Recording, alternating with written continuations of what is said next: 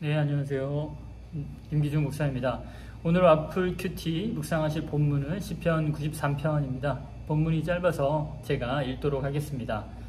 여호와는 왕이시다. 그가 위엄의 옷을 입고 능력의 뜰을 두르고 다스리시니 세계가 굳게 서고 요동함이 없구나. 주의 보좌는 옛날 옛적부터 굳게 섰으며 주는 영원 전부터 존재해 계셨습니다. 여호와여 바다가 소리를 높이고 높여 큰 물결을 일으킵니다. 높은 곳에 계신 여호와는 폭포 소리와 바다의 큰 파도보다 위대합니다.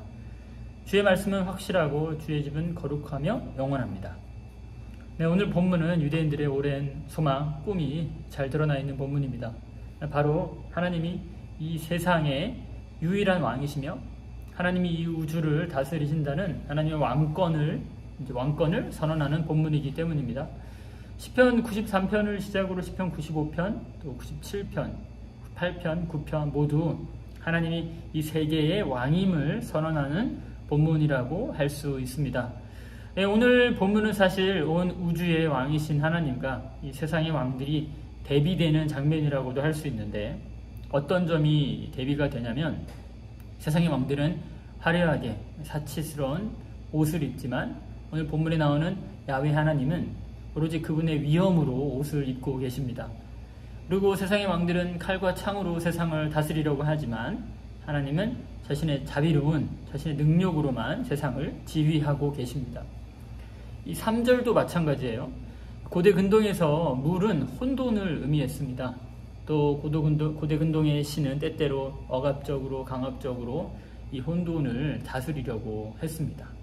그래서 신들끼리 서로 사인을 저지르면서 그 잔해로 세상을 세웠다고 그런 뭐 이렇게 고대 운동의 신화도 있습니다. 그런데 그럴 수밖에 없는 것이 당시 사회는 물을 통제할 힘이 없었기 때문이에요. 물이 적고 많음에 따라 가뭄을 겪거나 홍수를 겪고 그럼에도 그 물 강 주변을 벗어날 수가 없죠. 왜냐하면 농사를 지어야 했기 때문입니다. 그러나 본문에서 제시되고 있는 하나님은 이런 큰 파도나 물이 범람하는 그런 어떤 것보다 위대한 분으로 묘사되고 있습니다. 혼돈을 잠재우고 세상의 질서와 평안을 가져다 주는 신은 고대 근동의 마르둑이나 바알이 아니라 바로 창조주 하나님이라고 할 수 있는 거죠. 이 마지막 5절은 수미상관이 사용됐는데 수미상관 아시다시피 동일하거나 비슷한 어구를 반복해서 뜻을 강조하고 은유를 형성하고 예, 처음과 끝을 아주 비슷하게 작성해서 안정감을 부여하고 또 여운을 남기는 기법이죠. 시편에는 수미상관이 많이 사용됩니다. 대표적으로 시편 8편이죠. 여호와 우리 주여 주의 이름이 온 땅에 어찌 그리 아름다운지요. 어, 이 아름다운 구절이 시편 8편에서 1절과 마지막 절 9절에서 반복되고 있다는 사실 잘 아실 겁니다. 그래서 오늘 시편도 하나님이 우주의 왕임을 다시 선포하면서 끝을 맺습니다. 그런데 이 하나님이 우주의 왕이시다, 온 나라의 왕이다 라는 이 선언이 우리 현대인들에게 그렇게 잘 감명 깊게 느껴지지 않을 수도 있겠다. 예, 그런 생각이 들어요. 왜냐하면 우리가 왕권제, 뭐 군주제 이런 시대에 살고 있지는 않잖아요.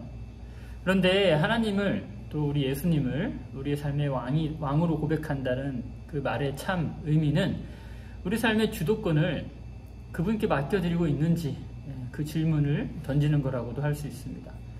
하나님을 또 그리스도를 왕으로 모시는 사람은 말로만 하나님은 왕이다라고 선포하는 것에 집착하는 사람이 아니라 하나님이 원하시는 일을 묵묵히 해나가는 사람이라고 할 수 있습니다. 그런 사람이야말로 하나님을 왕으로 모시고 살고 있다라고 할 수 있겠죠. 미국 필라델피아 흑인 빈민가에서 빈민을 대상으로 목회를 하고 계시는 이태후 목사님이라는 분이 계세요. 아마 여러분 검색하시면 신문사나 유튜브에서 이분의 이야기를 쉽게 접할 수 있을 겁니다. 예, 이태우 목사님은 지금 어디서 사역을 하시냐 하면 우버 스트리트라는 그런 아주 총기 사건이 어, 아주 빈번하고 또 범죄율도 아주 높은 곳에서 사역을 하고 계십니다. 이 주민의 90%가 아프리카계 미국인이고 절대 빈곤 이하에 놓여 있는 그런 분들이 많이 계시는 아주 우범 지역이에요. 이태호 목사님은 어, 미국의 또 유명한 신학교를 나왔고 한인교회에서 7년간 사역도 했지만 그래서 더 좋은 길로 갈 수도 있었지만 2003년부터 굳이 이 유범 지역, 이 빈민 지역으로 들어와서 주민들의 좋은 이웃이 되기 위해 어, 정말 애쓰셨습니다.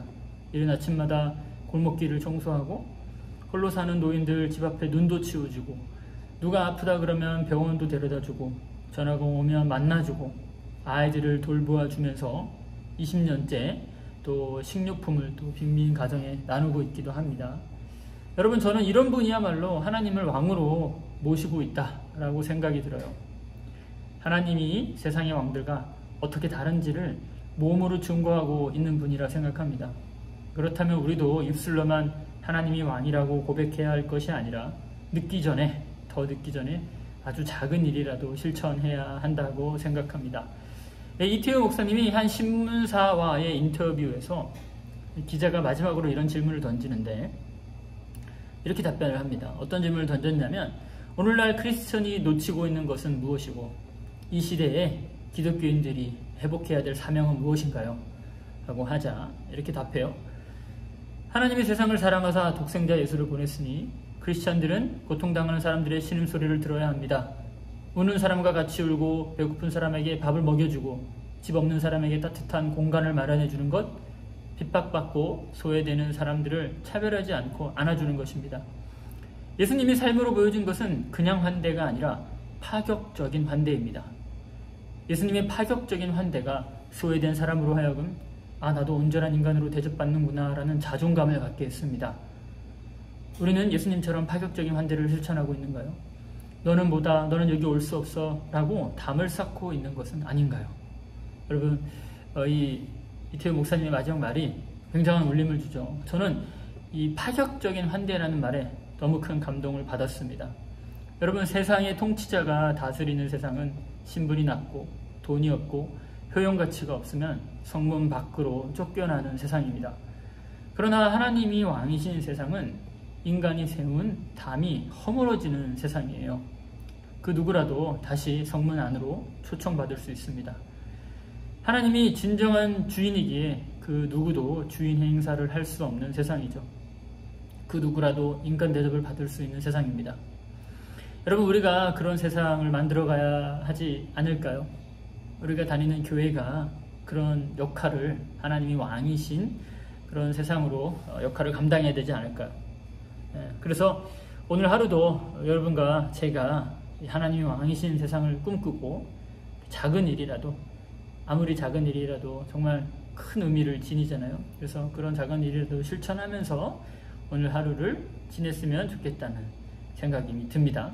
여러분, 우리 하나님은 어, 우리의 삶에 또 우리 모든 시간과 공간과 사건 가운데 왕이심을 믿어 의심치 않습니다.